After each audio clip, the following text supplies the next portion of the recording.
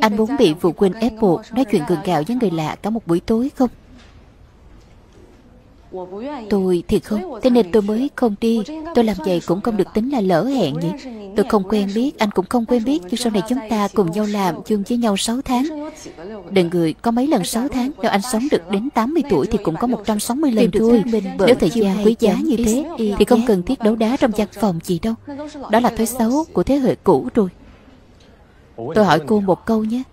Tại sao cô chắc chắn Sẽ ở lại chỗ chúng tôi 6 tháng rồi mới đi chứ? Lúc đầu khi đến đây thực tập Tôi đã có quyết tâm chắc chắn là phải ở lại. Dậy sớm thức khuya không hề dám sơ xuất. Nếu tôi đoán không sai thì cô đến đây để chỉ lấy tính chỉ nhỉ? Hơn nữa còn được giàu nhờ quan hệ nữa. Tôi chưa từng nghe nói nửa năm gần đây công ty chúng ta có kế hoạch tuyển thực tập sinh đó nếu cô đã chỉ đến đây cho qua ngày Thì chúng ta cần gì phải lãng phí thời gian tạo dựng tình cảm chứ còn nữa, những lời tôi vừa nói với cô thực sự không phải là để hù dọa cô. Ngành này thực sự rất vất vả, rất mệt. Nếu không thực sự yêu thích, thì tranh thủ đi sớm đi.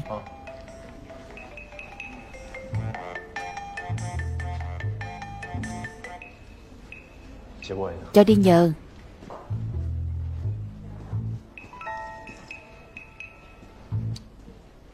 Từ đầu anh đã kiên quyết muốn đi theo nghề này, Anh chưa từng hối hận sao? Tôi thì không, Tôi đã xem điểm thi đại học đủ điểm, Sau đó mới chọn chuyên ngành. Tôi không hề biết bản thân muốn làm gì, Anh có biết thời kỳ mơ hồ không? Ngày nào tôi cũng sầu não, Tôi không biết bản thân có thể làm gì, Bản thân cần gì. Đúng đó.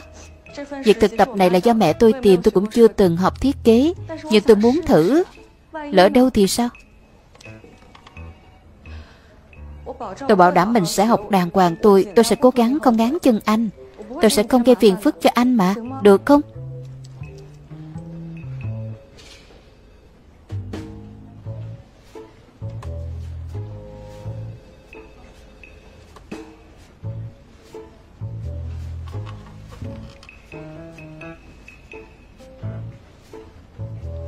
Cố lên.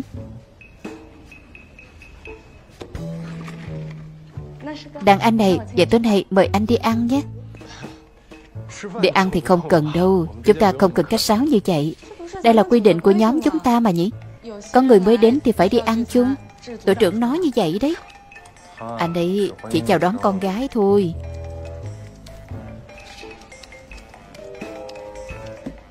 Dương Dương, Có phải điện thoại của cậu cứ treo mãi không? Không sao, số lạ. Không phải quảng cáo thì là tiếp thị, Lỡ là khách hàng thì sao? Khách hàng á, Khách hàng toàn nhắn WeChat, Ai lại gọi điện chứ? Ai vậy?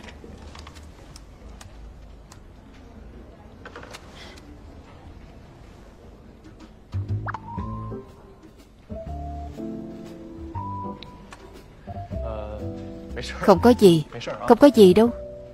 À thì Nói chuyện với đàn em đàng hoàng đấy. Nói chuyện đàng hoàng.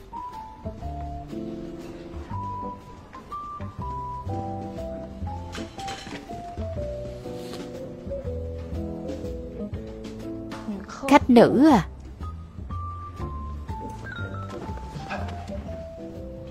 Đừng nói gì nhé. Alo. Xin chào. Nói đi chứ. Alo. Cho hỏi có phải Thịnh Dương không? Tôi, tôi đây ạ. À. Thì hôm qua tôi say quá tôi xin lỗi. Tôi kết bạn WeChat Cậu đồng ý đi, Để tôi chuyển tiền cho cậu. Không Không cần đâu, Không cần gì chứ, Kết bạn WeChat đi, Đầu óc cậu. Thôi, cứ kết bạn đi. Thật Thật sự không cần. Ờ không, cậu. Đưa đến tận mà không thèm à Cậu không thèm gì chứ.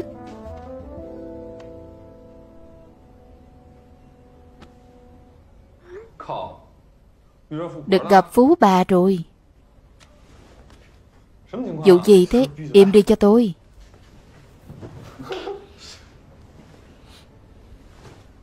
Lát nữa đừng nói gì hết.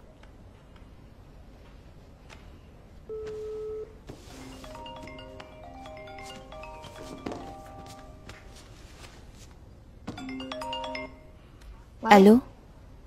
Alo à thị, Chị chuyển nhiều thế? Không nhiều đâu.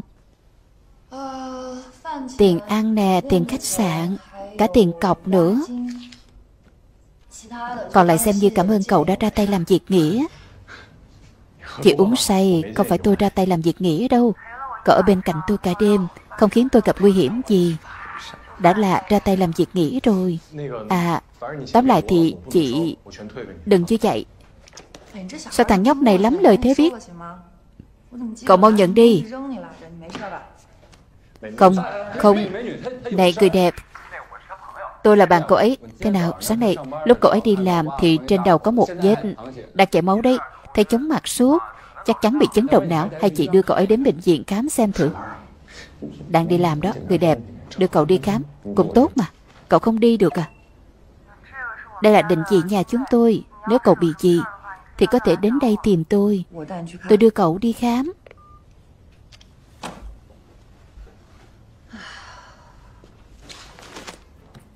Không cần khách sáo. Vừa nghe giọng đã biết là chị gái rồi. Chúng ta thích loại này gì Đừng có gây rối. Nói chị ấy đưa cậu đi kiểm tra tim luôn đi. Có phải lương tâm của cậu bị chó gặm rồi không?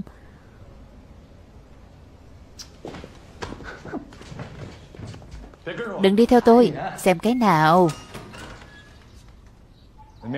Giảng băng. Anh về rồi đây. Ở kia vẫn giận à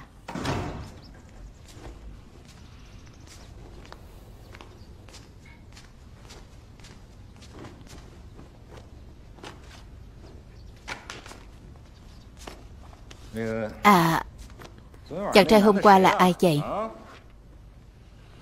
Em bắt đầu chơi tình một đêm rồi đấy à? Trước đây em đâu có, Ta biết trả thù mạnh như vậy. Làm gì đó, dọn dẹp à? Em đang định bỏ nhà đi bụi đấy à? Dọn dẹp đồ cho anh đó. Chúng ta ly thân đi đã. Anh sang căn nhà lớn bên kia mà ở, Em muốn ở đây. Đừng động vào anh cũng đâu có đồng ý ly hôn. Anh mà không đồng ý ly hôn Thì em sẽ tiến hành ra tòa. Ờ không, Em dứt đi hết cho anh. Được không? Đây là quần áo anh thích nhất mà nhỉ? Phải cho anh mang đi chứ. Em xem em còn nghiêm túc nữa kìa. Anh nói nghe, phụ nữ Mà một mực ly hôn thì chắc chắn có người khác rồi.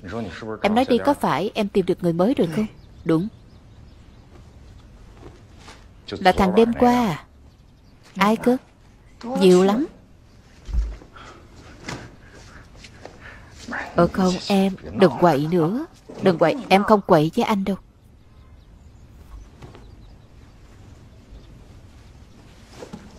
Tên gì vậy? Anh đi tìm thằng đó đây Anh sẽ nói với thằng đó là nó làm như vậy là phá hoại hạnh phúc gia đình chúng ta. Không ai phá hoại gia đình chúng ta. Người phá hoại gia đình chúng ta là bản thân anh đó. Lão Tiết em nói nhé, Anh biến chất rồi. Tư duy đạo đức của anh cũng đã biến chất, Chẳng phải chỉ là qua đường Không thể xảy ra tình tiết khác sao? Có thể xảy ra tình tiết khác, Ra đường cây chiếc trên giường em lại còn sai như vậy. Là thằng này phải không? Em được lắm.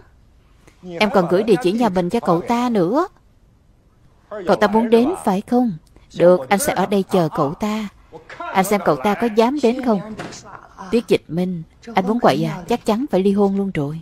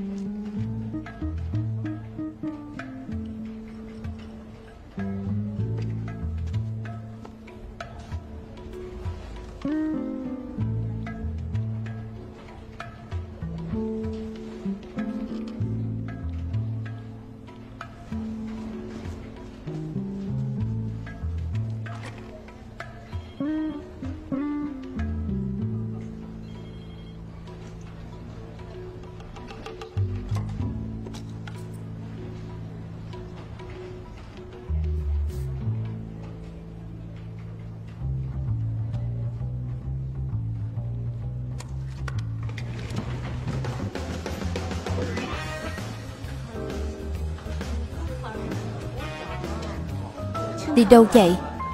Không biết.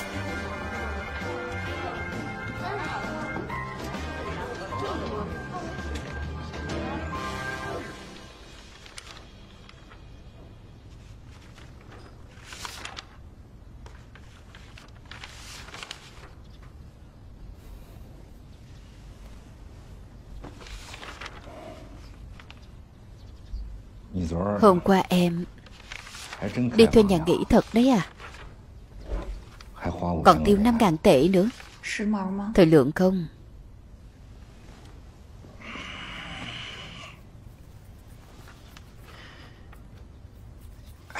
Được rồi. Như vậy cũng công bằng rồi. Được chứ. Vậy chúng ta thế này được không? À Lúc trước em nói với anh Anh bảo đảm cam đoan ba điều. Em nói lại lần nữa, anh ngẫm nghĩ, Hai chúng ta đừng lãng phí thời gian nữa. Anh cũng chẳng làm được điều nào hết. Dù có làm được thì cũng chỉ là thời gian ngắn. Đúng không?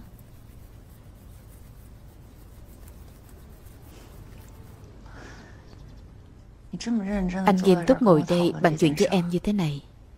Hai chúng ta đã bao lâu rồi không ngồi đây? Nói chuyện riêng của chúng ta rồi. Không phải anh quan tâm đến em Mà là anh cảm thấy tôn nghiêm đàn ông của anh bị xâm phạm. Nhưng lão tiết này Em không thể mãi mãi bị anh trói buộc Làm việc đính kèm của anh được.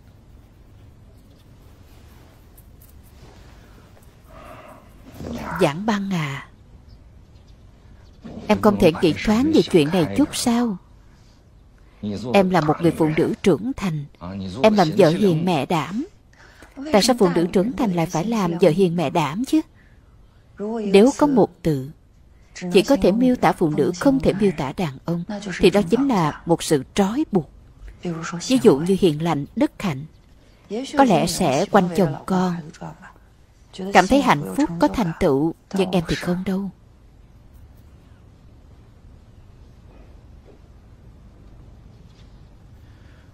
Công ty phải làm sao đây? Nếu anh tôn trọng em Không nhúng tay vào dự án của em Thì hai chúng ta vẫn sẽ tiếp tục làm cộng sự. Chúng ta cũng có con. Giảng dịch chính là con của chúng ta.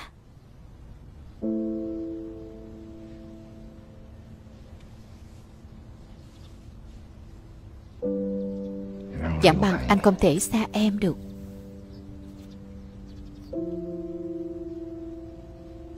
Anh thật lòng yêu em đó.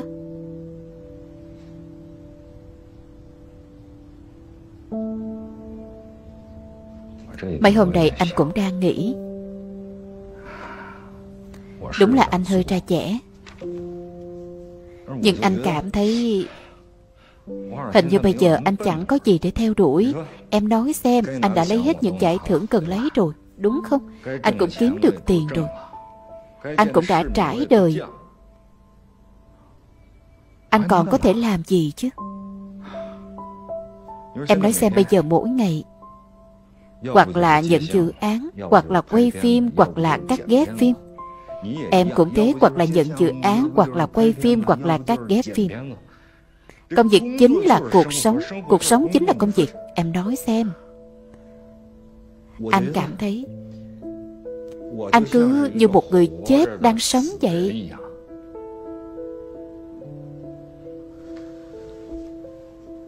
Nghe nói đời người có Ba lần khủng hoảng. Muốn chết là khủng hoảng tuổi dậy thì.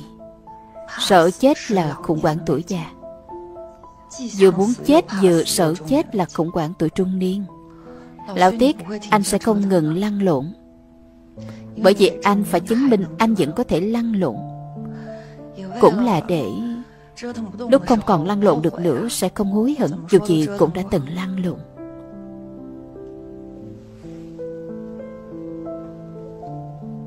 Giảng băng à Em hiểu anh.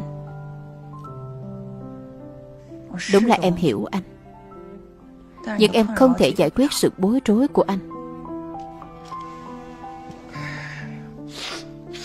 Em cứ quyết định đi.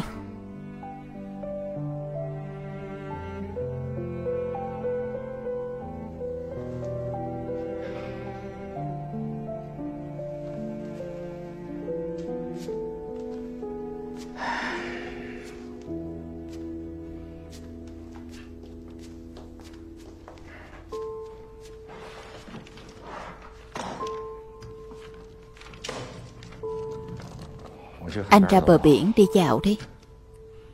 Cho anh chút thời gian. Anh cũng sẽ đưa ra quyết định của mình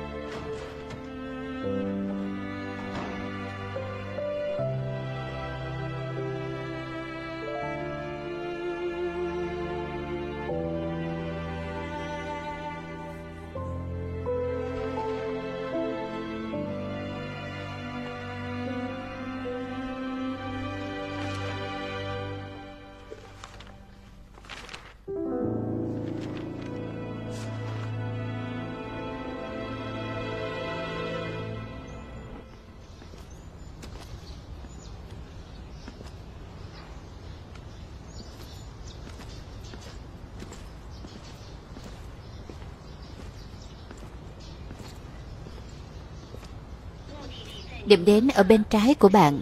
Kết thúc chỉ đường đi bộ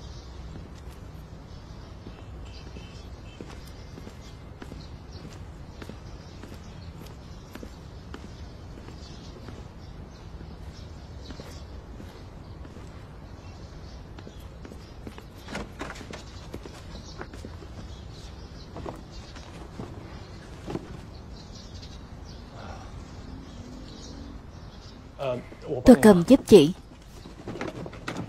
Chị muốn để đâu vậy? Cái này để dứt đi.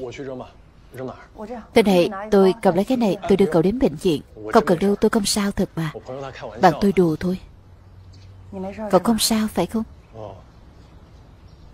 Vậy thì cậu đi về cẩn thận nhé.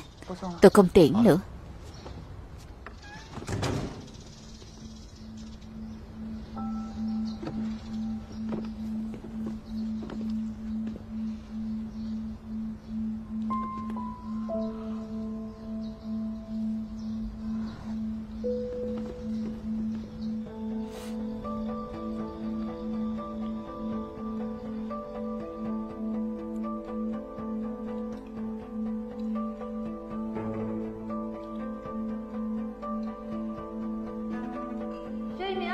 Tiết dịch minh có phải thứ tư tuần sau anh phải đi công tác không?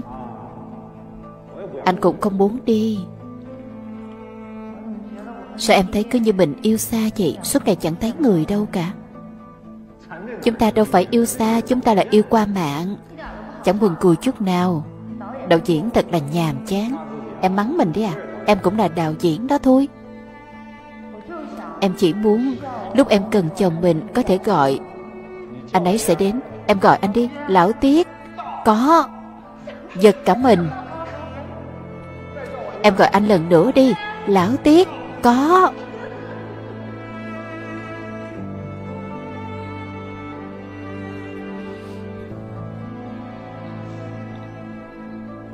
Nếu em nhớ anh Thì em Làm như vậy, Gọi cho anh. Khá là thú vị, đúng không? Chúng ta đoạt giải rồi. Bằng giảng băng Em xuất sắc quá đi. Em xuất sắc đến mức anh muốn cưới em về nhà luôn.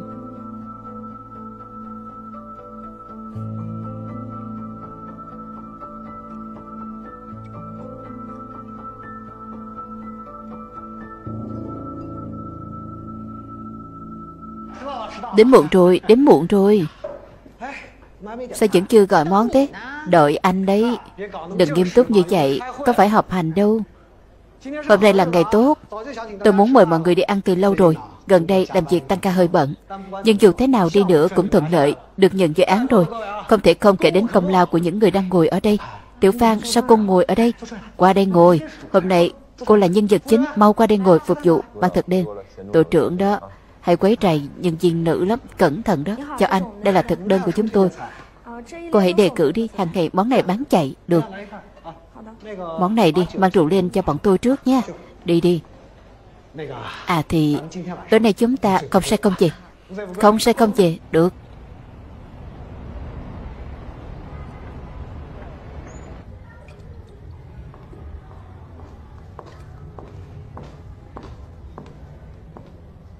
Chị Sang, Mặt trời mọc ở đằng Tây sao? Cạn ly.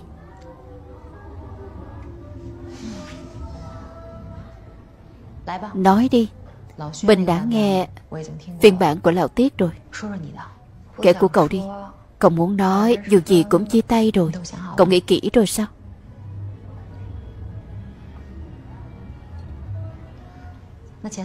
Vậy chia tiền như thế nào? Mỗi người một nửa. Nhà và xe thì sao? Anh ấy một căn mình một căn, Anh ấy một chiếc mình một chiếc. Mình ở nhà hiện tại, Để anh ấy ở nhà lớn trong thành phố. Cậu hào phóng thật, Anh ta là người có lỗi đấy.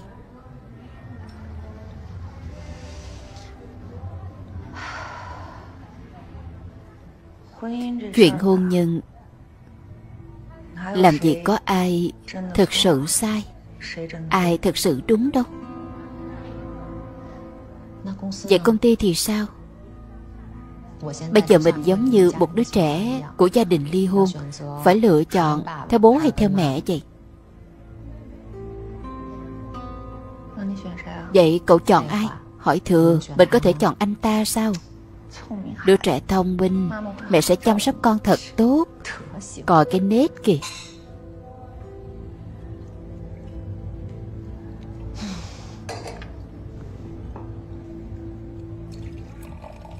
Mình không can thiệp vào chuyện của hai cậu.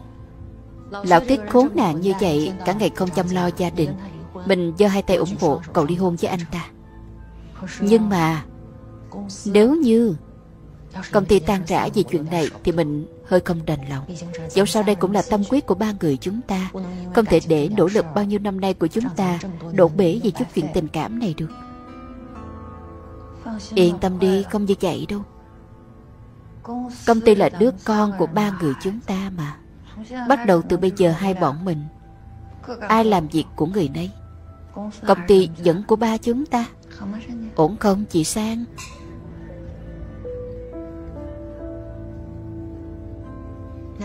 Vậy thì được. Chỉ là mình thấy.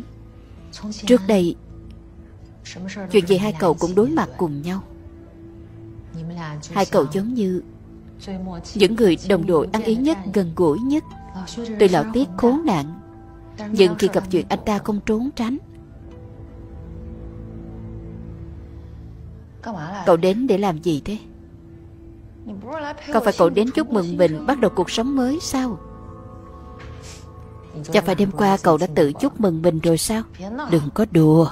Ăn nói lung tung Mình chưa kết hôn cũng chưa ly hôn. Nhưng mà mình biết Hẹn hò rồi chia tay cũng phải buồn mất mấy ngày. Tình cảm mười mấy năm của hai cậu, Ly hôn rồi chắc chắn giống như Gãy chân gãy tay.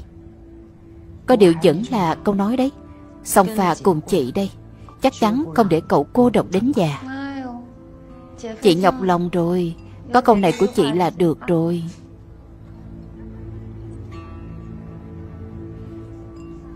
Được. Người ta sắp đến rồi. Ai thế? Tôi tuyên bố chính thức nhé, Mọi người chú ý. Chào mừng Phan Du bạn Tiểu Phan. Gia nhập vào đại gia đình của chúng ta. Mời mọi người vỗ tay Quan nghênh bạn nhỏ. Tôi luôn rất muốn ăn cơm nói chuyện với thanh niên các cô. Tôi cũng luôn nói với chị Lưu của chúng ta, Lâu lắm rồi không được truyền nguồn máu tươi đó. Phải, đúng vậy. Nào, ăn thôi ăn thôi, dân chân Dân ạ. À. À thì chị Lưu của cô đi theo tôi lâu nhất. Năm xưa mới đến công ty cũng trẻ. Có điều bây giờ qua rồi. Công việc thăng tiến Nên sự cấu kỉnh và nếp nhăn nhiều hơn. Nói chuyện kiểu gì vậy, tổ trưởng thật là. Anh đừng bêu tôi trước mặt cô bé chứ. Nhưng mà trước này cô ấy chưa bao giờ làm hỏng chuyện. Rất đáng tin. Nói như vậy đúng rồi chứ. Tiểu triệu bên cạnh chị Lưu của cô, Được chị Lưu cầm tay dẫn chắc Cô bé một miệng không thích nói chuyện. Nhưng mà đáng tin vô cùng. Tổ trưởng, Vậy phong cách của Thịnh Dương là gì ạ?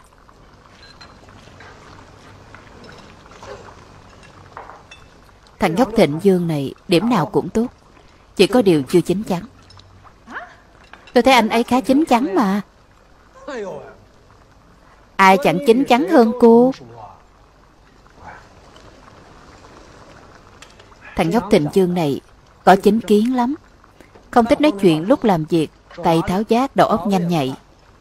Chỉ có điều tính tình không được tốt Cô nghĩ mà xem bây giờ tình hình việc làm gây go đến mức nào. Cạnh tranh kịch liệt biết bao, Ở nơi làm việc cô phải tinh ý. Biết ăn nói, Biết đối nhân xử thế, Đúng không? Điểm này tôi phải khen ngợi tống thần của chúng ta. Rất tình ý. Nào nào nào, Cảm ơn tổ trưởng. Thấy chưa? Đây gọi là tình ý đấy. Tự cản đi nhé. Dân ạ. À. Nhưng mà tôi cảm thấy năng lực làm việc mới quan trọng nhất. Tiểu Phan, Cô còn trẻ quá. Ở nơi làm việc Cô phải biết làm hài lòng người khác, Đây đều là những lời tận đáy lòng mà tổ trưởng dành cho cô đó. Nhưng cô đừng sợ, Các anh chị của cô ở đây Gồm có cả tôi, Đều sẽ cầm tay chỉ dẫn cô. Cô gái song tay cô gầy thế này, Đâu có đâu có, tấm thần cấp cho người ta đi. Cô gầy quá đó, Tổ trưởng. Xin lỗi nhé, tôi đến muộn. Phan Nhu, Qua bên kia ngồi. Chiều nay sau khi tan làm Cậu đi đâu thế? Không thấy bóng dáng cậu đâu. Thỏ còn chịu thua nữa. Tự rót ly bia rượu đi. Dần dần tôi trưởng à cậu ấy chưa ăn. Dạ Và chạy rỗng, uống rượu không được, đúng không? Phục vụ Phục vụ à cho một bát mì. Tôi trưởng, tôi thay cậu ấy uống một ly với anh nhé. Nào Tiểu Phan, nào nào. Bò nhúng lẩu nè. Cô ăn đi, cảm ơn cảm ơn. Anh dừng một chút, Tôi không nỡ nhìn cô gầy. Để lúc đó người ta hại cô, tổ trưởng ngược đãi. Mau ăn đi. Khui rượu tiếp tục. Tiếp tục nào.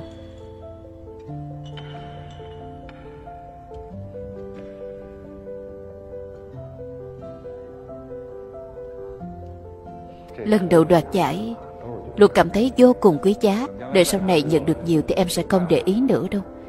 Còn có thể nhận được nhiều giải à? Chắc chắn rồi, Chúng ta có thực lực mà. Thứ này, Còn có một tác dụng nữa là mỡ nào. Thấy không?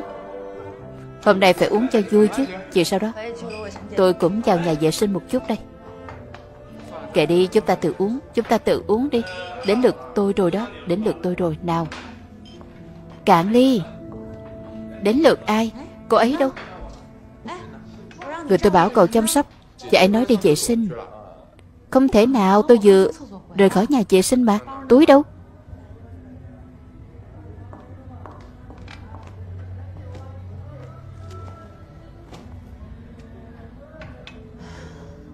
Dân chân Dân. Tiểu triệu, Cô qua đây ngồi nói chuyện, Hai người làm quen. Nói chuyện đi, Được thôi. Nào nào, qua ngồi chỗ tôi, Nào. Cô uống thấy vui không? Cũng khá vui. Sau này làm việc quan tâm Phan Nhu hơn nhé. Em gái nhỏ mới tới, Yêu quý người ta, Quan tâm người ta nhé. Được. Cậu sao thế? Mặt mày rầu rĩ thế. Tôi còn tưởng tối nay cậu Không tới chứ.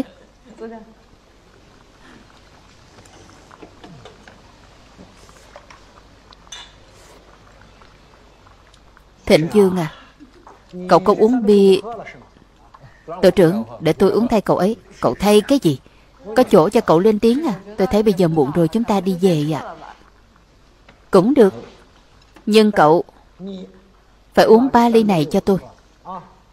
Bởi vì tôi chưa nói chuyện chiều nay cậu ấy trốn làm đâu đấy. Hôm nay tôi trốn làm à? Hết giờ tôi mới đi về nhà mà. Trời đất ơi. Thịnh Dương, ý cậu là sao?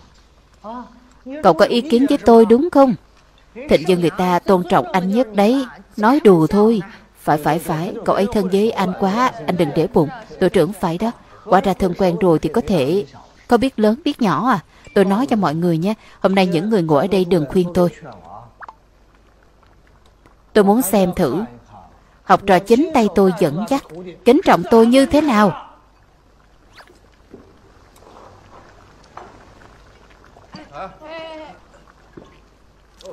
Đã cho tôi ít giấy. Xin lỗi mọi người nhé, Nhà tôi có việc gấp, tôi đi trước đây.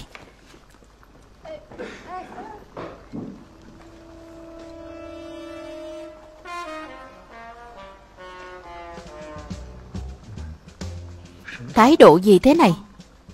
Ý là sao? Ý là sao? Tổ trưởng tổ trưởng đừng nổi nóng. Đúng là nhà cậu ấy có việc thật. Có lẽ tâm trạng không được tốt Anh đừng để bụng nha. Như thế này, lát nữa chúng ta ăn xong Đi tìm chỗ nào hát karaoke tôi mời. Được không? Đặt chỗ đi. Dân ạ, à, dân ạ. À. Phan Nhu Phan Nhu à. Tôi biết mấy cô gái trẻ các cô hát hay. Lát nữa, hát bài cao nguyên thanh tạng, Tặng cho tôi nhé. Dừng ạ. À. Nào, mọi người cùng uống nào. Nào, mời tổ trưởng một ly, Mời tổ trưởng một ly nào. Uống một ly. Cảm ơn tổ trưởng bao hôm nay. Cảm ơn tổ trưởng.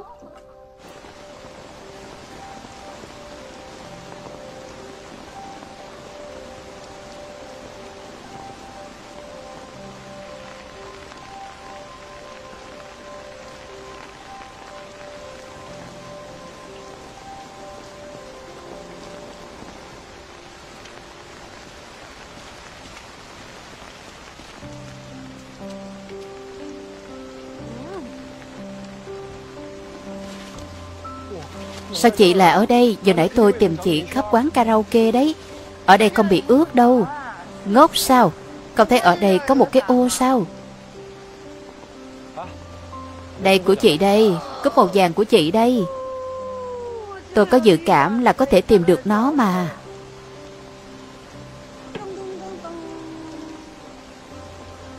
Chẳng phải tôi bảo cậu dứt nó rồi sao? Sao cậu không dứt đi? Tôi không dứt Mẹ tôi. Cũng thích cãi nhau với bố tôi xong bắt đầu dứt đồ. Nhưng lần nào cãi xong cũng bảo tôi nhặt đồ về lại. Cho nên tôi quen rồi. Nếu chị còn cần đồ gì khác Thì ngày mai tôi đem hết qua cho chị. Không cần. Cậu có ý gì? Cậu coi tôi là mẹ cậu sao? Tôi, tôi, tôi, tôi đâu có nói chị là mẹ tôi. Chị đâu có già đâu. Tôi cũng đâu nói Cậu nói tôi già. Tôi gọi xe cho cậu nha. Cậu mau đi đi. Sao không sáng nhỉ? Sao không sáng nhỉ? Để tôi gọi xe cho chị. Tôi đưa chị về. Phải. Cậu gọi xe cho tôi. Tôi gọi cho chị. Chị ở yên đây. Nào cái này đưa chị Chị đứng dậy được không đấy? Được. Nào, chị đứng lên đi. Từ từ thôi. Từ từ thôi. Bên phải Bên phải. Cậu từ từ thôi, Từ từ. Từ từ thôi nào.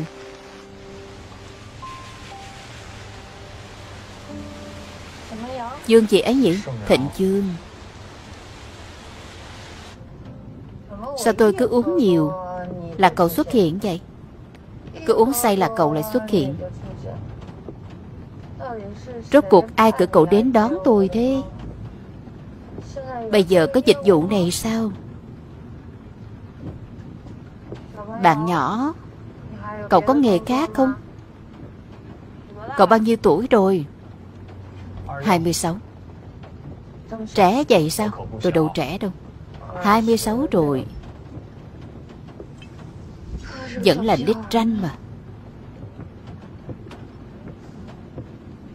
Tôi hỏi chị nhé, Chị còn nhớ cái quảng cáo công ích Mà chị từng quay vào 10 năm trước không vậy Tôi quay nhiều quảng cáo lắm. Là cái quảng cáo chị nhận đó. Công nhân vệ sinh môi trường giúp chị nhận chiếc cúp, Chị còn nhớ không? Cái này à Phải chính là giải này đó. Đây chính là cái nút chai ở nhà tôi mà.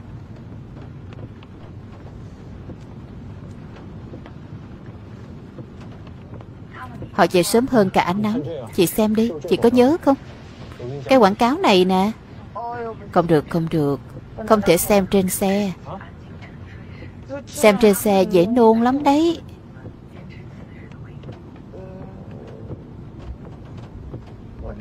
Trời ạ. À.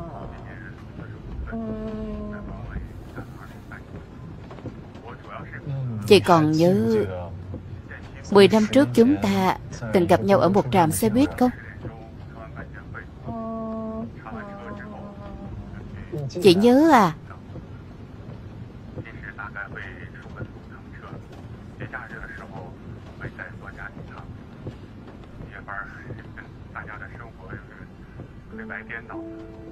Thật ra là gì chị Nên tôi mới chọn làm trong ngành này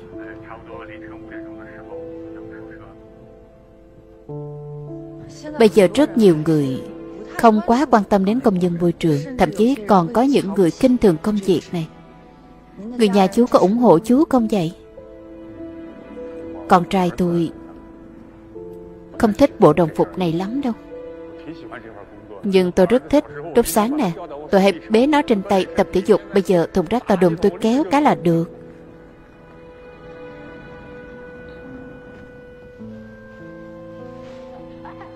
Tao nói chuyện với mày nè, Mày điếc à. Đi thôi.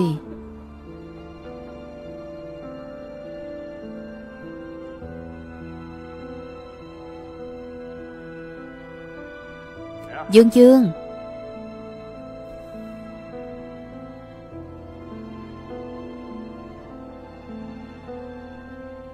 Dương Dương, con sao thế? Ai bắt nạt con sao? Mẹ à Mai họp phụ huynh, Mẹ đừng để bố đi, được không ạ? Con thấy xấu hổ lắm.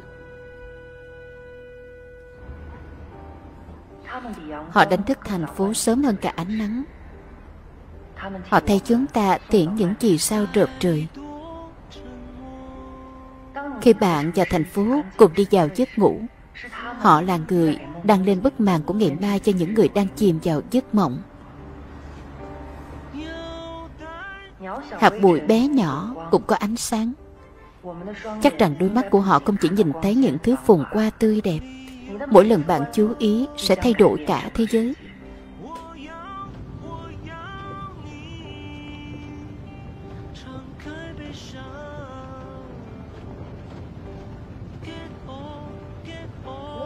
Lấy cho tôi ít nước đi.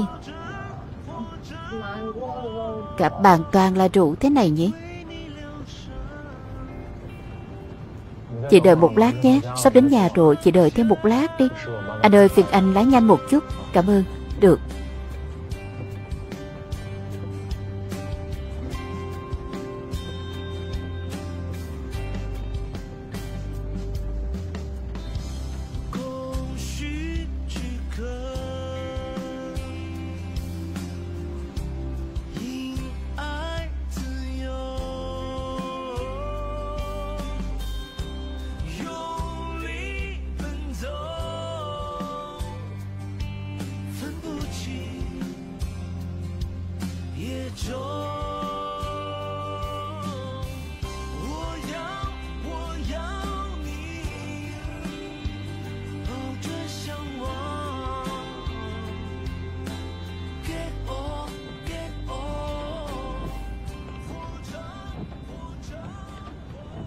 Mưa to thế này, có ai dở hơi lại ra ngoài đường thế? Anh mới dở đấy. Cô ấy bị ngốc à? Anh mới là đồ ngốc đấy, sao anh nói nhiều thế? Bảo anh lái xe đi thì anh lái. Người ta đùng thế, đi đâu biến mất được. Bình thường em cũng nóng tính như vậy. Khách hàng là bố em, Sao em đối đãi không giống nhau được? Được được được. Anh chịu em, Anh chịu em luôn đó. Em mới chịu anh đấy, Suốt ngày đi tán tỉnh các cô. Em nghe nói là anh đó, Ở nhà vợ, xin vui qua thế, Đến nỗi Mỗi cái như em cũng không đành lòng nữa mà. Anh lại như thế. Em thích thế nào thì thích. Anh bay đi Tam Á đây. Anh dở hơi à. Giờ anh sắp đi hôn anh rồi đó. Mà anh vẫn lượn lờ. Anh lượn đi à. Anh trốn cô ấy đấy, được chưa? Cô ấy đòi ly hôn với anh kìa. Anh bảo cô ấy bình tĩnh. Anh chỉ biết trốn. Em nghe nói là anh bảo cô ấy bình tĩnh ờ Ơ này được sang sang. Em cứ thử ở mãi với một người. Mười mấy năm xem Xem em có chịu nổi không? Có phải không? Anh cũng không chịu nổi đâu. Chúng ta trưởng thành cả rồi, Chúng ta đừng nghĩ mấy chuyện này là trẻ con nữa. Em xem đi. Anh phải lo liệu mọi chuyện ở công ty, Cần quay phim thì anh phải quay phim, Có phải không? Lúc nào cần ra ngoài, anh cũng phải ra ngoài xã giao chứ, Xã giao với nhau. Và trẻ trai gái người nào mà chẳng có Có phải không? Giả lại anh là đàn ông. Thấy phụ nữ mà không dao động thì anh đâu phải đàn ông. Thật sự tưởng rằng Cái gì mà Hai người cùng nhau, bốn mắt nhìn nhau. Không liếc mắt đưa tình gì Cứ như thể là Với nhau đến đầu bạc trăng long Anh không tin. Như vậy anh là phân tâm sao? Là phân tâm đấy. Thế sao anh không ly hôn đi? Dám đi ăn dụng lại không dám thừa nhận. Anh không ly hôn được. Cô ấy là vợ anh. Cô ấy là người thân nhất của anh Ngoài bố mẹ anh. Thế mà anh bắt nạt. Anh có thể ly hôn với cô ấy? Em nói anh nghe Tiết dịch minh bây giờ anh nói gì cũng muộn rồi Em thích sao cũng được. Nói chung là anh không đi hôn với cô ấy đâu.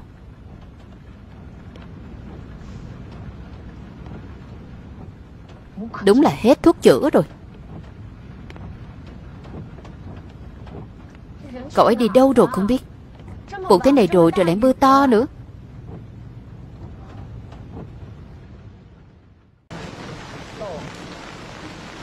Từ từ thôi.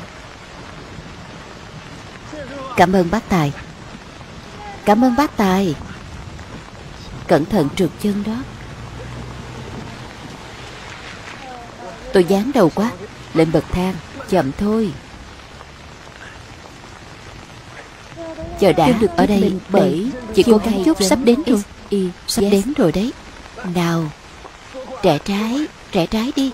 Trẻ trái nào? Đi thẳng chứ Đi thẳng Đi thẳng Đến rồi Đến rồi, Đến cửa nhà rồi. Chị từ từ thôi. Cái này Cái này phải không?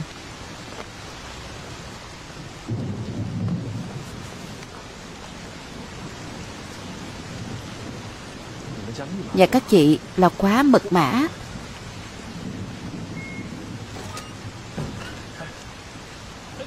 Từ từ thôi. Từ từ thôi. Tôi muốn ngồi đâu thì ngồi chứ.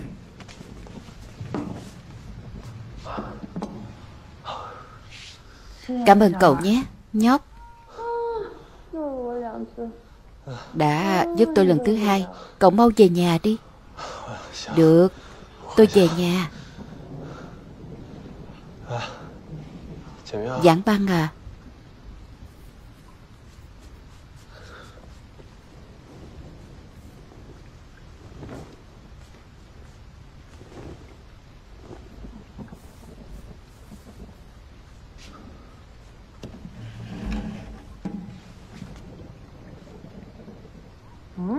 À Cậu còn việc gì à Tôi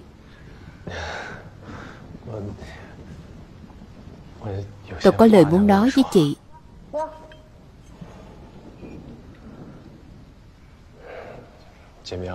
Giảng băng. Chị nên đối xử tốt với mình một chút. Rượu không phải thứ tốt lành gì, Sau này uống ít thôi. Uống say rồi Dễ sân mặt.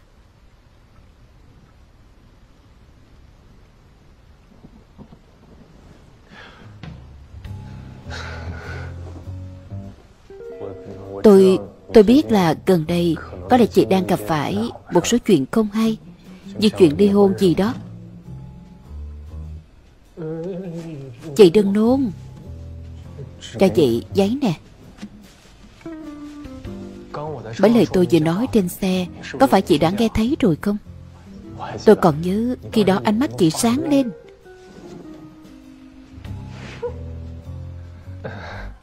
Thật, thật mà.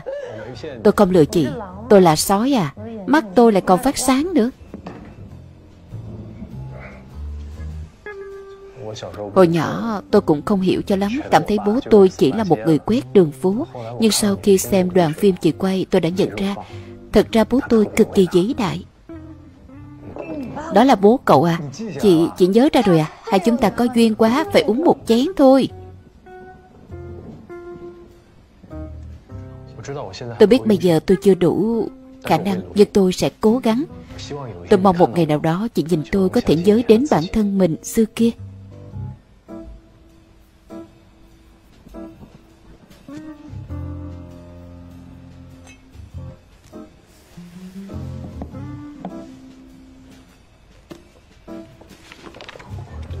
Thiết kế quan tâm à.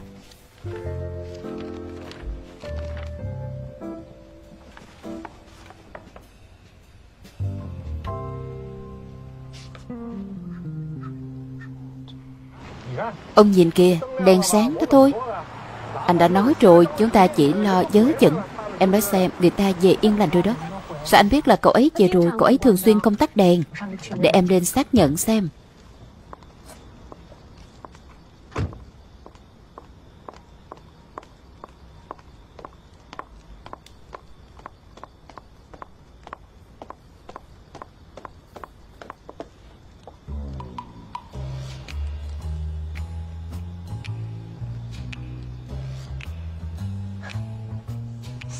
Được đấy, chàng trai.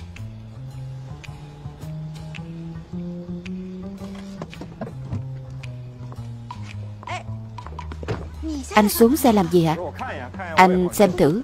Không cần, em xác nhận rồi. Cậu ấy về rồi, đi thôi đi thôi. Không, thế anh cũng phải xem. Em làm gì thế? Đã bao nhiêu tuổi rồi? Ngủ rồi, mấy giờ rồi chứ? Đi thôi đi thôi mà. Em nói xem, Em chơi trò bất tích như vậy, Em dọa anh đó à? Đúng là chẳng ra sao cả. Mai hẳn nói cậu ấy đi. Lên xe đi. Mau mau mau đưa em về nhà.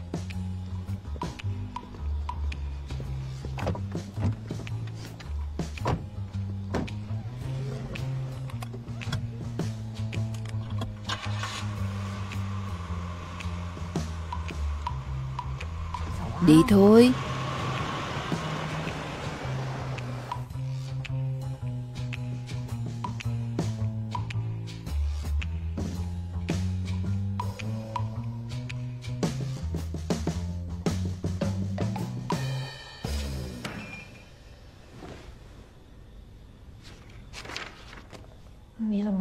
Sao cậu còn ngồi đây vậy? Tôi tôi đang đọc sách Tặng cho cậu mang về mà đọc. Tôi đi ngủ đây Đóng cửa cẩn thận vào. Dân ạ à, Vậy vậy tôi đi đấy. Sáng mai chị dậy thì uống chút Uống chút trà gừng gì đó nha.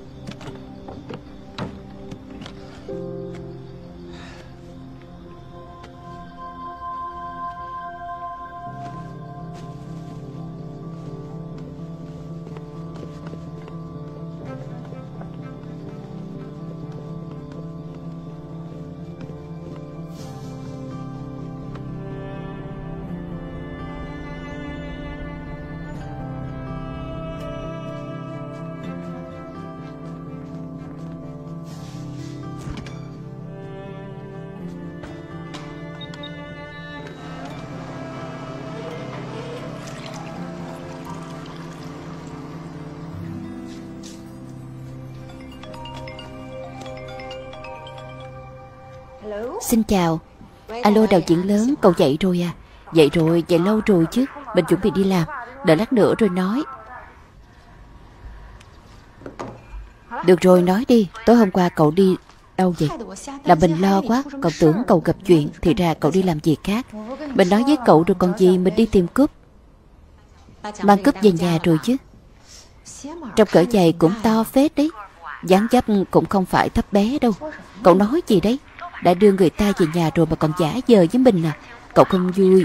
Muốn tìm niềm vui, mình có thể hiểu. Nhưng lần sau cậu về nhà có thể nói với mình một tiếng Là mình tìm cậu cả buổi tối qua. Còn nữa, Cậu dội vàng đi hôn thế Có phải đã có mục tiêu mới rồi không? Mình cứ cảm thấy mấy hôm nay cậu là lạ, Bí ẩn lắm. Đúng là có mục tiêu rồi, Nhưng không phải là đàn ông. Là sao? Hôm qua mình nói chuyện với cái cúp của mình. Tuy mình không để bụng chuyện ly hôn, Nhưng nói sao thì Lão Tiết cũng đã tham gia vào cuộc đời mình mười mấy năm, Vẫn có ảnh hưởng rất sâu đậm tới mình. Nhưng cúp của mình nói với mình, Con đường mình lựa chọn Thì phải thẳng lưng và đi tiếp. Cậu không cần lo lắng cho mình đâu. Từ hôm nay trở đi, Những ngày tháng mượn rượu giái sầu đã kết thúc rồi. Mình phải làm những việc mà người trưởng thành nên làm. Việc gì? Gây dựng sự nghiệp. Cụp máy nha, Mình còn dội ra ngoài lắm.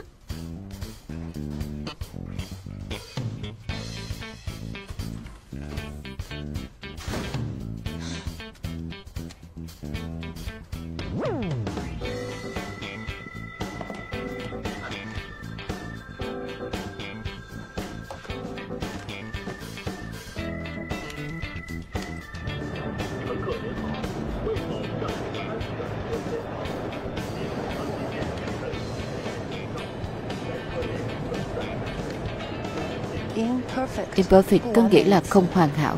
Viết thêm một dấu nữa sẽ trở thành, Tôi là người hoàn hảo Khiếm khuyết cũng chính là hoàn hảo, Gập ghềnh cũng là phong cảnh. Đổi một góc nhìn khác, Cuộc sống đâu đâu cũng có điều tốt đẹp. Chào buổi sáng, Hôm nay chúng ta sẽ quay nhanh thôi. Đạo diễn, Chị đến rồi à. Chào buổi sáng, Chào đạo diễn, Chào mọi người. Chào mọi người. Đạo diễn Dự ý, Đưa dài về phía bên kia. Sao hôm nay lại đeo khuyên thế này? Bạn trai mua đấy.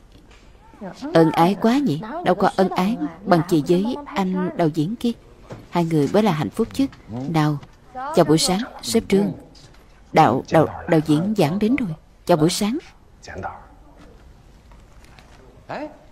Chẳng phải nói là hôm nay đạo diễn Tiến sẽ phụ trách sao?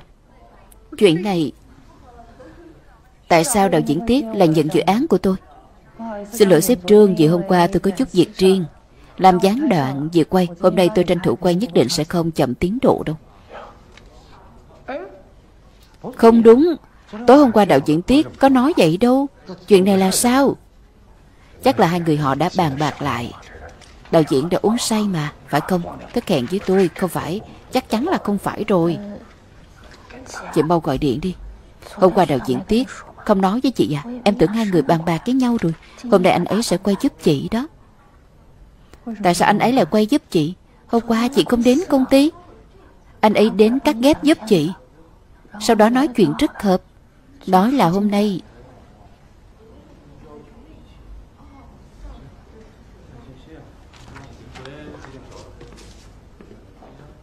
Anh xem đi, nhìn xem. Vẫn như thế, dần dần Chắc chắn là do nguyên nhân nào khác thôi. Được rồi, cô soát lại một lần nữa Lát nữa quay theo cái này Gửi lại cho tôi là được rồi. Dân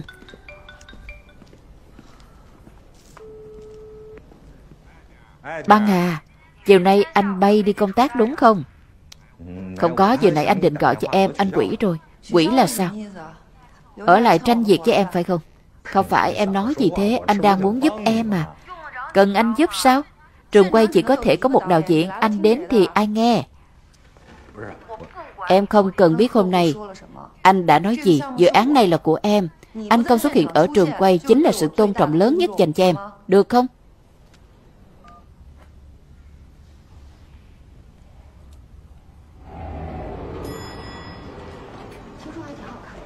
Điểm đánh giá của bộ phim đấy cực tốt. Thời đại nào rồi mà còn đọc sách giấy? Lại còn nâng niu như bảo bối thế?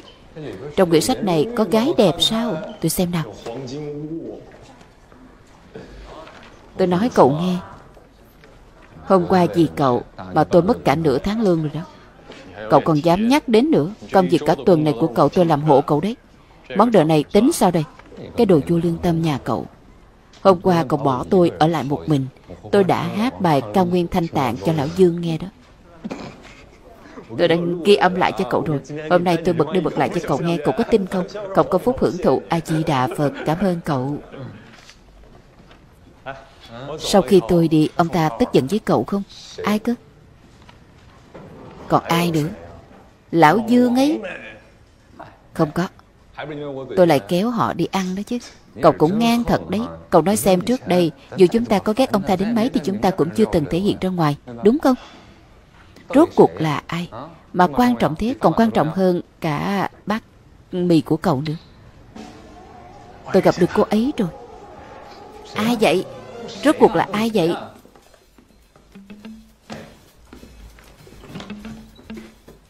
Là chị đạo diễn đó, Đúng không?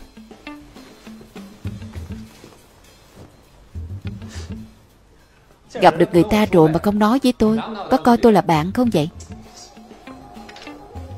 Bây giờ chị ấy sao rồi? Thì vẫn thế thôi. Thay đổi rồi, đúng không? Mười năm rồi cậu nói xem. Kết hôn rồi, đúng không? Sinh con rồi, đúng không? Tôi tính nha, Hồi còn 16 tuổi chị ấy đã đi làm rồi, Bây giờ ít nhất cũng phải hơn 30 tuổi, Còn là đạo diễn nữa, Suốt ngày nắng gió chất giả Vậy thì chắc cũng chẳng còn xinh đẹp gì nữa rồi. Cậu nói gì vậy? Cậu xấu thì có.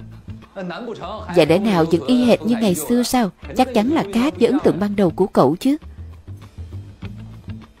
Vậy thì tôi cũng khác rồi. Cậu khác rồi. Cậu lớn lên khiến người ta thấy bất ngờ. Chị ấy cũng thấy vậy sao? Cái này không quan trọng. Thế cái gì quan trọng? Cậu nói nghe coi. Nữ lớn hơn 3-4 tuổi Nữ lớn hơn 13 tuổi thì Hơn kém nhau như vậy còn thú vị gì nữa?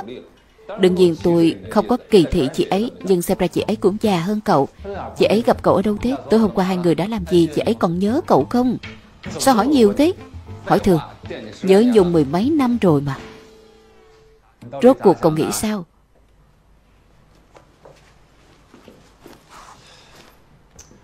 Tôi cảm thấy Chị ấy không giống với ấn tượng của tôi cho lắm. Hình như Sống không tốt cho lắm.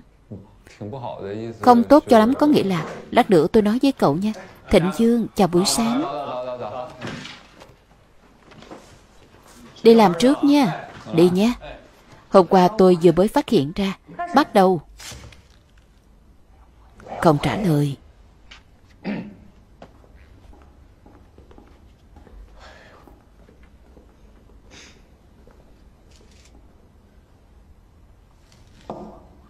Ý tôi không phải cô ấy quay không tốt. Nhưng mà, Tối qua đạo diễn Tiết đã đồng ý với tôi rồi. Tôi chỉ mong anh ấy đến quay thôi. Được thôi, cắt. Bây giờ anh phải, Hôm qua rõ ràng là Được rồi, xong rồi, lại đây chuẩn bị cảnh tiếp theo đi.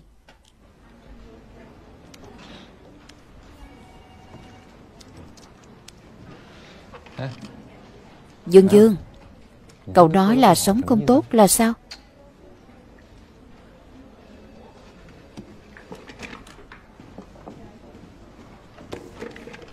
Tôi đoán nha Vợ chồng không hợp nhau, Thành tích của con cái kém, Sức khỏe của bố mẹ không tốt, Công việc không có tiền đồ. Kiểu gì cũng là mấy chuyện đó thôi.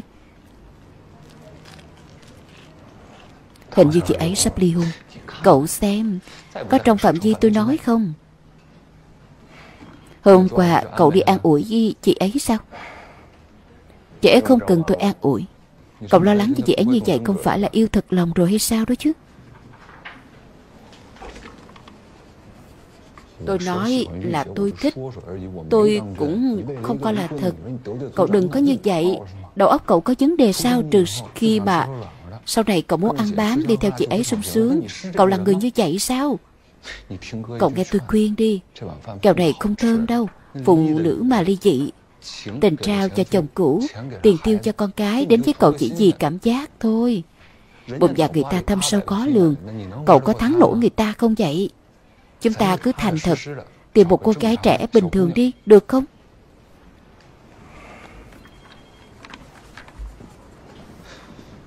Ví dụ như cô kia mặt mũi ngây thơ Cả người toát lên sự đơn thuần Không xứng với cậu sao? Thịnh Dương Anh chưa ăn sáng đúng không? Tôi mới mua dưới lầu Anh ăn thử đi.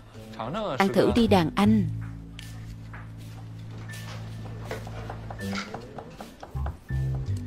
Không cần đâu Tôi không ăn. Cảm ơn Cảm ơn gì chứ, Hôm qua nếu không có đàn anh Thì tổ trưởng. Cứ cầm tay, Anh cứ cầm đi. Thịnh Dương à Đừng có có phúc mà không biết hưởng, Cậu cẩn thận, Cô đơn đến già đó.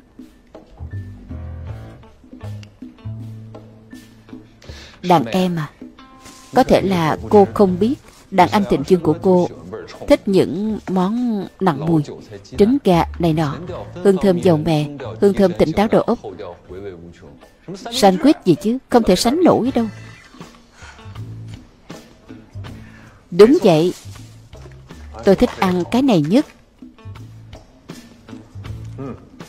Thơm thật đấy.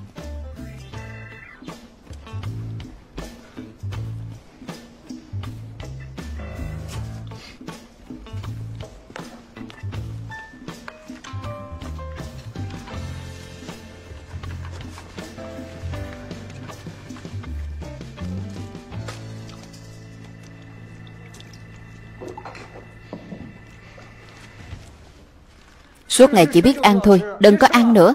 Vào họp thôi.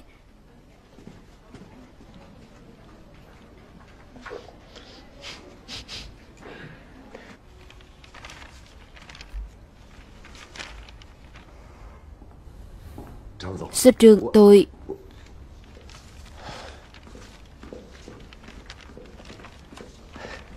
Đạo diễn giảng À đạo diễn tiết đâu ạ? à? Tôi ngồi ở đây sao anh cứ hỏi anh ấy thế? Không phải quan trọng là khách hàng Đã nói là chuyện này đợt diễn tiết đã hứa với anh ấy Hôm nay chúng ta sẽ quay một cảnh dài? Buồn cười thật đấy, Anh gọi anh ta lại, Tôi quay cảnh dài cho anh ta thôi. Anh cũng đâu phải chưa xem tôi quay Có vấn đề gì sao? Đương nhiên là không có vấn đề gì. Không thì sao lại tìm cô chứ? Tôi không nói là phim cô quay có vấn đề. Vậy thì làm sao? Chê thái độ của tôi không tốt à Thái độ thì tôi thấy Cũng không có vấn đề gì Vậy thì nhắm vào cá nhân tôi rồi Đạo diễn giảng à Công ty đại diện chúng tôi Cũng đâu có dễ dàng gì Quan trọng là khách hàng đã nói rồi nhất quyết muốn gặp đạo diễn Tiết. Nếu cô muốn nói với người ta không thích cô thì trong lòng cô cũng tự biết. Thế này đi, cô cứ coi như là giúp tôi. Cô gọi điện cho đạo diễn Tiết, bảo anh ấy đến trường quay một chuyến. Việc này không có đúng không? Khách hàng muốn gặp đạo diễn Tiết. Tại sao lại muốn gặp ở trường quay của tôi? Đúng không? Gặp ở đâu mà chẳng được. Tôi không biết sao ông ta lại có thể như vậy. Khách hàng có tâm thì anh điều chỉnh đi. Cô nghĩ như vậy sao Được rồi vậy tôi kéo cách trở lại rồi chỉ thẳng vào mặt ông ta nói, Ông là đồ thần kinh Cô thấy tôi làm vậy có được không? Nhanh chóng lên. Hai người lại cãi nhau sao?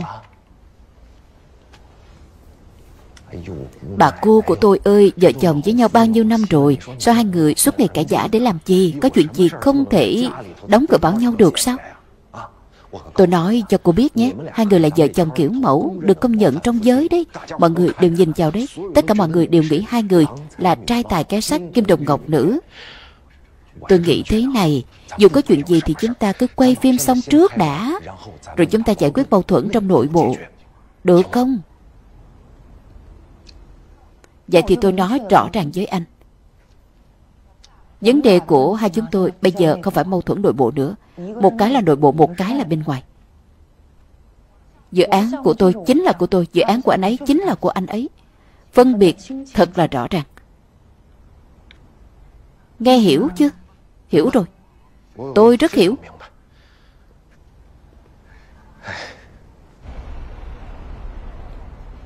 Hôm nay có hai tin tốt muốn nói cho mọi người biết.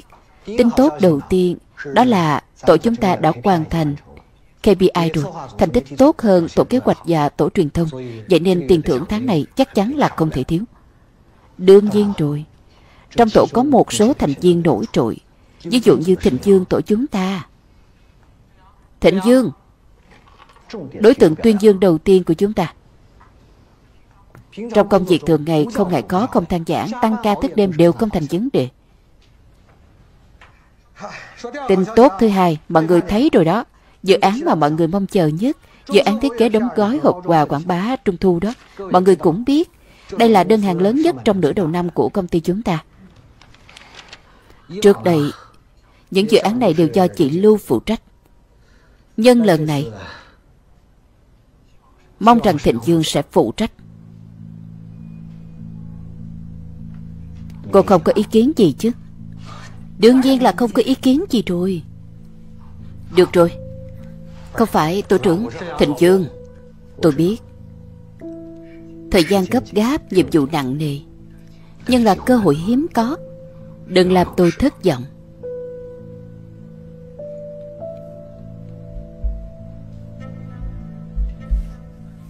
Cố lên. Tan họp thôi. Cố lên, Cơ hội đấy. Chị Lưu à Tôi Chị Lưu đi thông thả. Kiểm tra xem có cảnh nào bị sót không. Không không có đâu, Quay xong hết rồi. Được rồi, kết thúc mà người vất giả rồi. Đạo diễn vất giả rồi.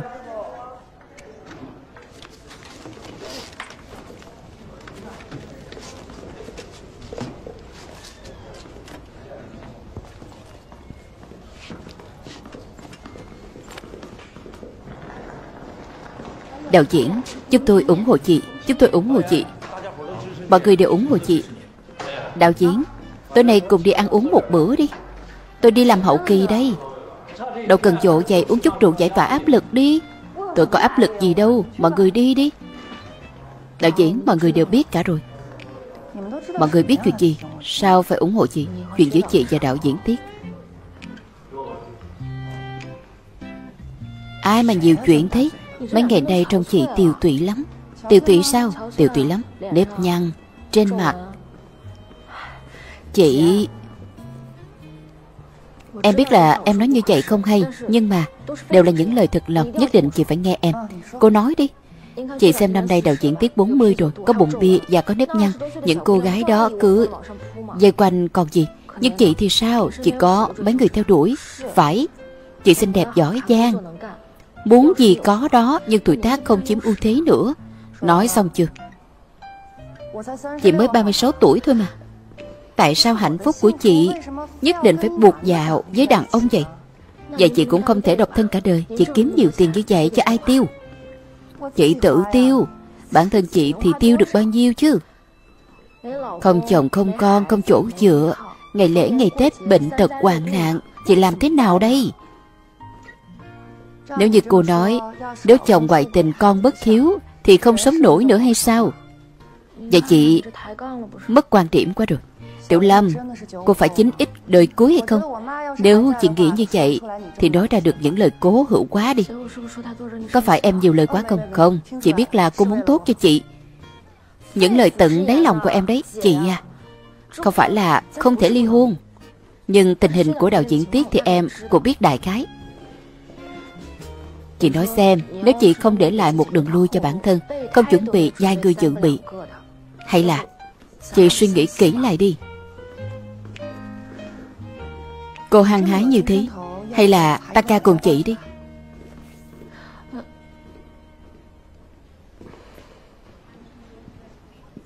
Tôi phải về đón con, Tôi về trước nhé, Tạm biệt chị Lưu. Tôi về trước nhé. Tạm biệt chị Lưu Mai gặp.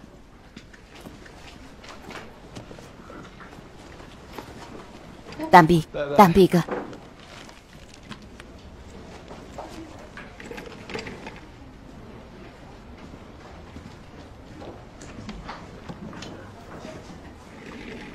Chúc mừng nhé Dự án lớn như vậy Bà lại giao cho người tàn hình như cậu.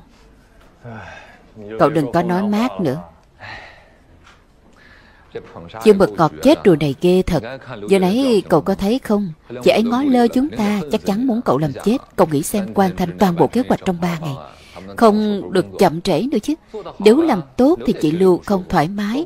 Nếu làm không tốt chắc chắn Lão Dương sẽ xử cậu. Đúng là làm thế nào cũng không xong.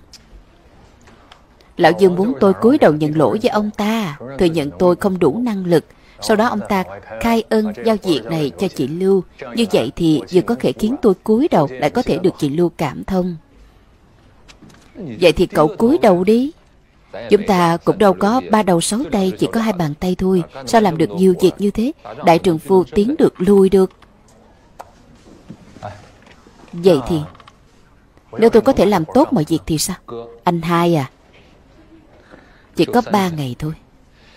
Đây rõ ràng là làm khó cậu. Đây là một nhiệm vụ không thể hoàn thành.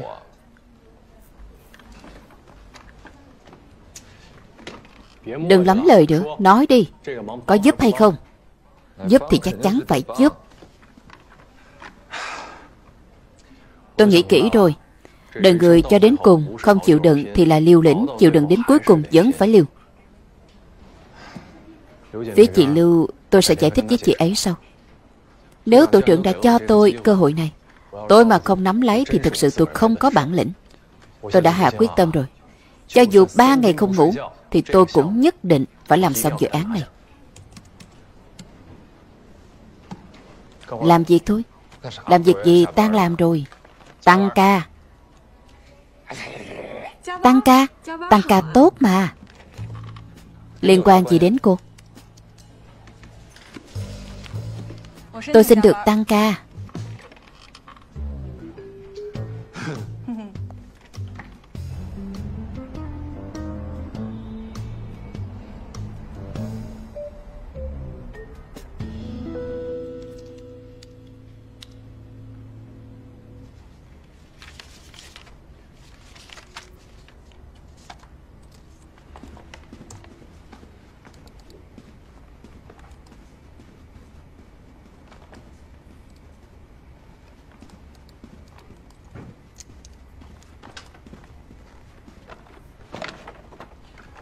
Đàn anh à. Đàn anh, Cẩn thận. Cầm lên đi. Xin lỗi xin lỗi, Tôi không cố ý đâu. Đàn anh, Hay là anh nghỉ ngơi ăn cơm đi. Sao cô còn chưa về? Đàn anh tập trung thật đi Chẳng trách người ta lại nói đàn ông nghiêm túc là đẹp trai nhất. Đã là mấy giờ rồi, mau về nhà đi. Không phải một mình anh vất vả quá. Tôi có giúp gì được cho anh không vậy? Không giúp được. Vậy tôi chạy giặt cho anh cũng được. Có biết AI không? Ý anh là trí tuệ nhân tạo hay sao? PR Adobe. InDesign. Corel Raw Đều không biết à. Photoshop thì biết chứ. Tôi biết dùng app. Metu được không ạ? À? Cô có biết dùng app Metu nữa sao? Vậy cuộc thi thiết kế quảng cáo toàn quốc nhất định phải đăng ký cho cô đi thi rồi Cháu tình yêu không tệ đấy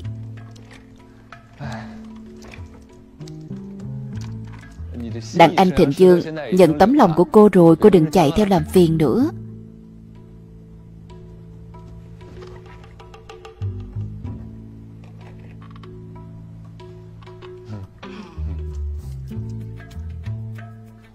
Đi đi.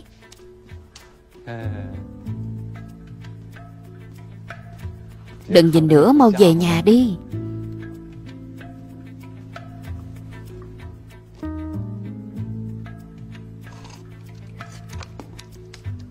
Mau đi đi.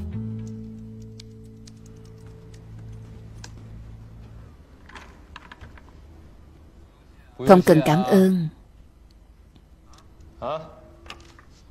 Không cần cảm ơn.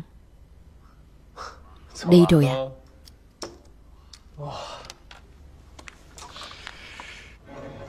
Bà nói làm tôi ngại quá. Đi chứ Đi chứ. Được rồi Giữ liên lạc nhé.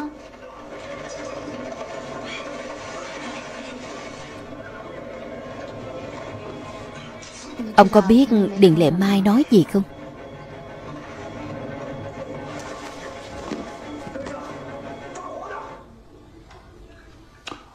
Đã rút dao ra mà bà lại tắt của tôi. Bao nhiêu năm nay, Đây là lần đầu tiên bà ấy gọi điện cho tôi. Ông có biết bà ấy nói gì với tôi không? Sao tôi biết được hai người nói chuyện gì chứ? Bà ấy nói rằng, Sau khi con gái về Thì đun miệng khen Thịnh Dương nhà Bình Nói là Thịnh Dương nhà Bình Vừa đẹp trai, Lại có còn, Có tài nữa. Cô gái này kén chọn lắm, Không để ý đến ai cả. Chỉ thích Thịnh Dương nhà chúng ta thôi. Đây là chuyện bình thường à. Bà ấy còn nói về quảng cáo, Đến cả lúc ăn cơm cũng đọc Đều là ảnh hưởng từ con trai nhà mình đấy. Mẹ dạy dỗ tốt, Đương nhiên rồi. Bà ấy bảo tôi hỏi Thịnh Dương, Thế sao về con gái bà ấy? Bà đừng có đồng ý lung tung Chuyện của con, Bà phải để con tự quyết định.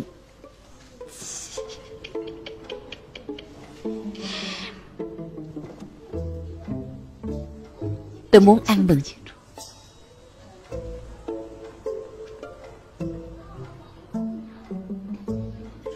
Chuyện này có liên quan gì đến bà chứ? Ăn bừng lung tung gì chứ? Ông có biết trước đây bà ấy coi thường tôi thế nào không?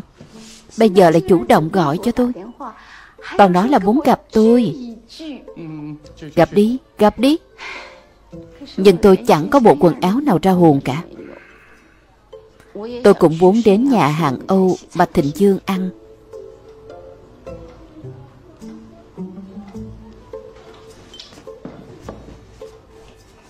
Lên lịch.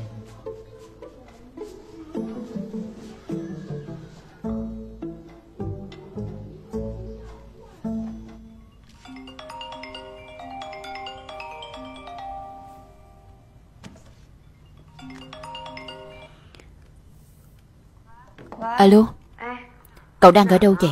Bình đang kiểm tra phim ở công ty. Bình tĩnh vậy sao? Chuyện gì vậy? Chuyện gì là chuyện gì? Hôm nay từ khách hàng đến công ty đại diện, Đến cả cô lao công ở công ty chúng ta cũng đến hỏi Có phải là cậu sắp ly hôn với lão Tiết hay không đó. Cậu cũng đâu có nói sớm như vậy đâu chứ. Mình có công bố đâu. Cậu không công bố sao? Bảo sao hôm nay ở trường quay? Một đống người hỏi han mình. Vì mà tôi ủng hộ cô. Ủng hộ mình gì chứ? Mình chỉ ly hôn thôi mà. Mình chỉ là có tuổi rồi mà còn ly hôn thôi mà. Cậu nói xem có phải bọn họ Biết là lão tiếp bỏ rơi mình Sao không thể là mình dứt bỏ anh ta chứ? Giá trị cuộc đời phụ nữ chúng ta Được định nghĩa bằng việc hôn nhân có thành công hay không hay sao? Cậu nói đi Lương Sang Sang. Không phải như thế. Mình biết giờ cậu đang thấy rất phiền. Mình không phiền Ly hôn thôi Có gì đâu phải sợ chứ. Người phiền phức đến là người nói chuyện về chuyện của mình. Mấy người đó hết việc làm hay sao? Mình thì bận, mình đang làm việc. Quay phim chỉnh sửa mới là tình yêu đích thực của mình. Đúng đúng đúng, câu nói gì cũng đúng. Mình biết bây giờ tâm trạng cậu đang không tốt. Hay thế này đi. Bình ra ngoài với cậu nha. Thôi không cần đâu. Mình ngồi xem. Bình tắt nha.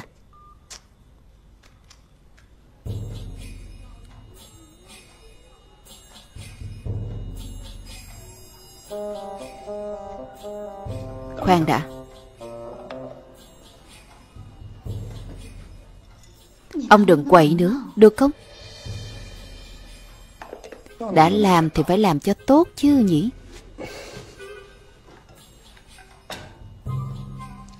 Bà ăn đi, Tôi đặc biệt làm tái đấy, Đảm bảo sẽ ngon, Chuẩn chị luôn.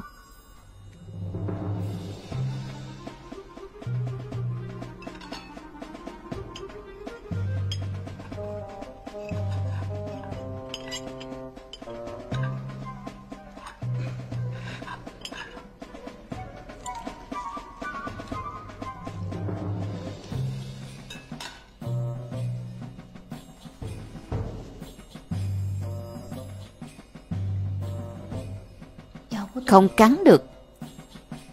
Giống nhà hàng Âu đó. Không cắn được là đúng kiểu của họ rồi. Người ta đi nhà hàng Âu toàn uống rượu giang đỏ nghe nhạc cha Rồi thắp nến các kiểu. Ông đang trêu tôi đấy à? Có ngay thôi.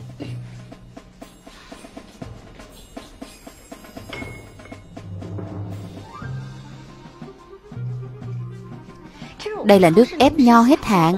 Mà siêu thị bọn tôi mới bỏ khỏi kệ thôi. Đâu phải chai này, Phải chai này kìa. Bà nhìn đi nhìn đi. Đọc đi.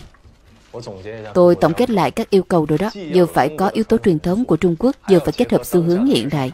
Phạm trù của cậu lớn quá, Không dạng toàn được hết. Buộc phải thu nhỏ phạm vi thôi. Cách cũ thôi. Tôi hỏi cậu một câu. Được. Nào. Phong cách. Đơn giản hay lộng lẫy? Đơn giản.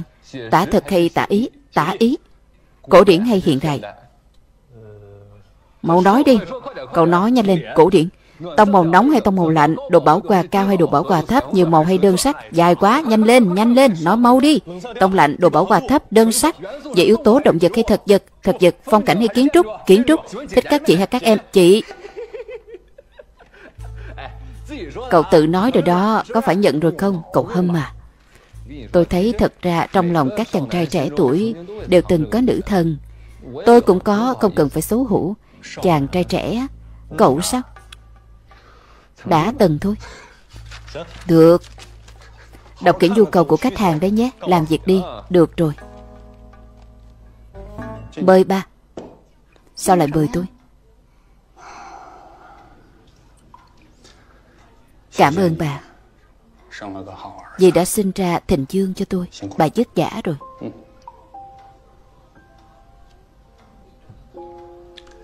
Khen đủ đi. Quyết định trước đây của bà Là quyết định đúng đấy. Quyết định gì thế? Bà quên rồi. à Lúc thằng Thịnh Dương đó Căng căng đòi đi học vẽ. Tôi tính sơ sơ Tiền mời thầy Rồi tiền mua giấy bút màu các kiểu Cũng tốn không ít. May mà bà vẫn kiên định. Không ngờ, bây giờ thằng dương lại kiếm tiền nhờ thứ này. Thì tôi biết nhìn xa trông rộng mà, đương nhiên rồi, đương nhiên rồi.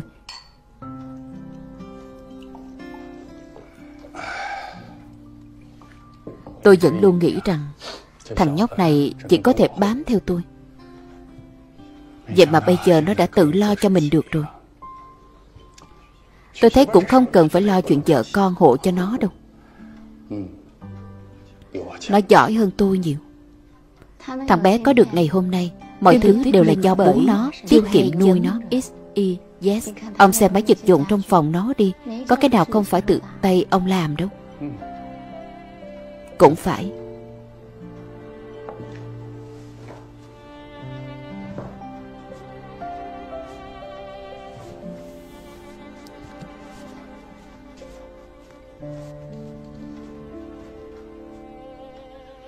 Sao ông phải lén lút như thế? Ừ nhỉ, Phòng của con trai mình mà. Giờ nó cũng đâu có ở nhà đâu. Ông nhìn xem, Tuyệt vời thật, Đều là ký ức đó. Cái ghế sofa này bao nhiêu năm rồi? Mà vẫn bền như thế này. Tài nghệ của tôi mà. Đúng thế. Ấm áp thật đấy.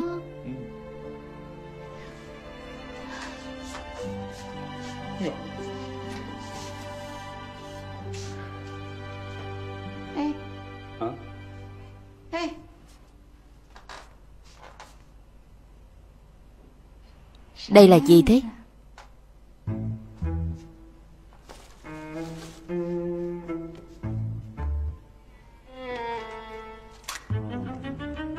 Nước quà con gái. Bông tai.